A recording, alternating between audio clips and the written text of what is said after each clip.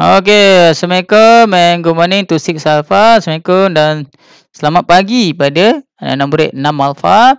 Okay, lama dah tak jumpa korang ya. Okay, tak apalah. Kita teruskan PTPR kita pada hari ini.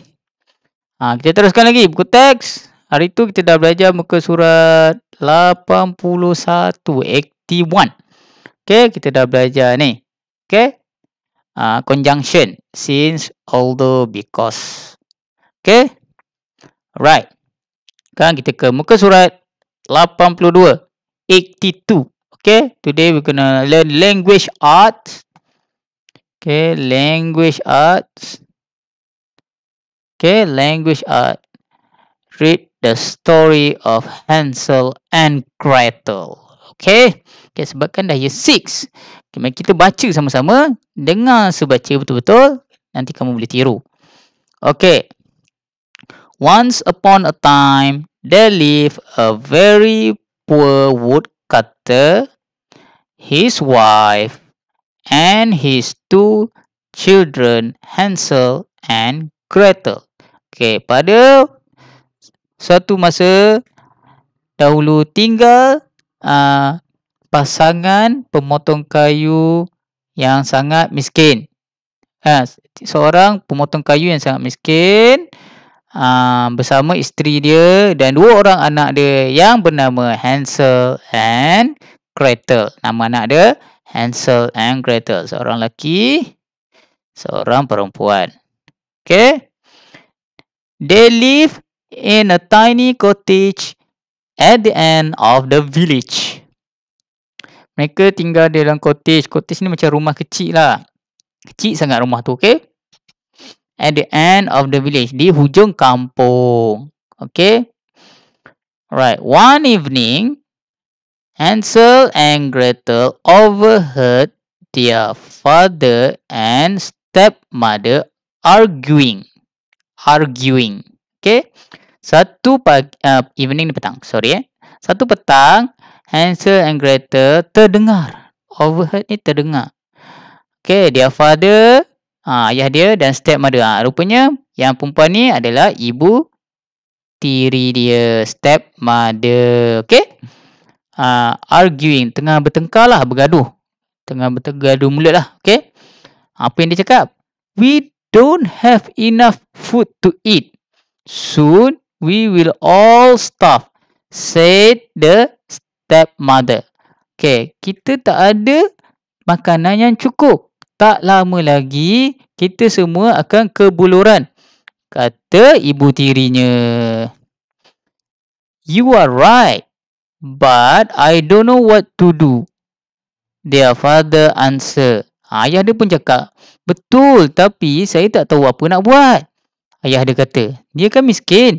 Kan? Ha, jadi mak tiri dia kata, kita tak cukup makanan. Lama-lama macam ni kita akan ke bulu. Okay? Okay, mak tiri cakap, I have a plan, said their stepmother. We have to leave the children in the forest. This is the only way to save on food.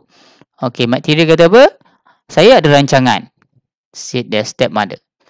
We have to leave the children in the forest. Okay, we have to leave the children in the forest. Maksudnya, kita akan tinggalkan anak-anak kita di dalam hutan. Betapa kejamnya ibu tiri mereka ini. Okay.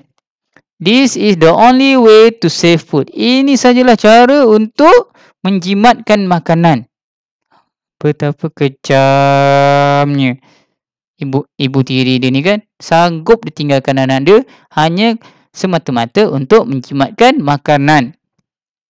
Okay, finally after much argument, the father reluctantly agree. Okay, akhirnya selepas bergaduh, okay, dia ayah dia sebenarnya mula-mula tak setuju bergaduh lah, bertengkar. Akhirnya dengan tidak rela hati, ayahnya bersetuju, agree. Okay, reluctantly ni tidak rela hati tau. Dengan berat hati, reluctantly. Okay, Hansel went to bed with a very eh sorry. Hansel went to bed with a heavy heart. Hansel pun pergi tidur sebab anak dia dengar ni. Dia tengah bergaduh ni, bapak dia tengah berbincang ni, ibu bapa dia tengah berbincang, anak dia dengar. Dan Hansel ni pergi tidur dengan hati yang berat. Sedih lah, dia sedih dengar. Sedih, takut. Okay. The next morning, Hansel and Gretel were taken to the forest. Ha, pagi esok, baik, ha, the next morning, ha, pagi hari berikutnya, Hansel dan Gretel dibawa ke hutan. Hansel kept some breadcrumbs in his pocket. Okay, Hansel ni dia bijak. Okay, dia ambil serpihan ha, kerak ha, roti, breadcrumbs ni, ha, kerak roti, okay. He dropped them along the way without his parent knowledge. Ha, sebab kan, dia tahu parent dia ni nak tinggalkan dia dalam hutan. Dekat tempat yang jauh supaya dia orang tak dapat kembali. Budak-budak lagi kan. Ha, tapi dia bijak. Dia bawa roti. Sepihan roti dia uh, jatuhkan sikit demi sikit sepanjang perjalanan dia orang tu.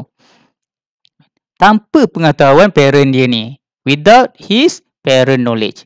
He dropped to find the way home. Eh, he hope. Sorry, he hope to find the way home. Okay, dia berharap kalau parent dia dah tinggalkan dia kat hutan, dia dapat cari jalan pulang. Cari jalan balik ke kampung tu lah. Ke rumah dia ke, ke kampung tu, okay? Okay, sekarang uh, Children wait, uh, sorry. Children wait here. Your father and I are going to collect some firewood. Mak tiri dia kata, anak-anak tunggu sini. Ibu dan ayah akan pergi kutip kayu api. Ha, said the stepmother. Hansel, however, knew that they would never return. Hansel ni tahu yang mereka tak akan kembali lagi. Ha, itulah cerita Hansel dan Gretel. Cerita dia panjang lagi sebenarnya. Tapi permulaan cerita Hansel dan Gretel ni macam ni lah. Okay? Ha.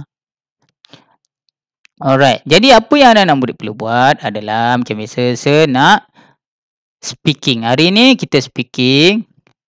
Okay. Pilih sama ada. Sorry. Right. Okay. Pilih sama ada ni. Yang pertama. Kedua ni. Atau yang ketiga ni. Okay. Satu. Nombor dua. Oh sorry. Panjang lah pula. Okay, number two. Or number three. Baca, rakam suara dan hantar pada se. Okay. Ha, nombor satu ni pendek sikit lah. Tapi kalau boleh cubalah nombor dua. Mana yang boleh baca tu, cubalah nombor dua ni. Perenggan nombor, uh, yang bahagian nombor dua ataupun bahagian nombor tiga ni. Boleh? Okay, baca, rakam. Baik, baca, sorry. Baca sambil tu rakam dengan phone. Send kat telegram se. Senang untuk tugas hari ni. Baca betul-betul. Okay, kalau tak tahu sebut, ulang balik apa yang saya baca tadi. Saya dah baca untuk kamu, ulang balik. Kalau tak tahu sebut perkataan tu. Okay, saya nak dengar kamu punya sebutan ha, pembacaan kamu macam mana. Okay, speaking. Okay, penting. Listening, speaking, writing. Okay, sekarang ni speaking. Okay, surat berapa? 82. 82. Okay, rekod bacaan anak murid. Pilih, bukan semua. Okey, kalau semua putus nafas yang kamu nantikan. Okey, satu, dua atau tiga rekod bacaan kamu. Dan hantar pada se. Okey, itu saja untuk hari ini. Kita jumpa lagi di kelas akan datang. Assalamualaikum.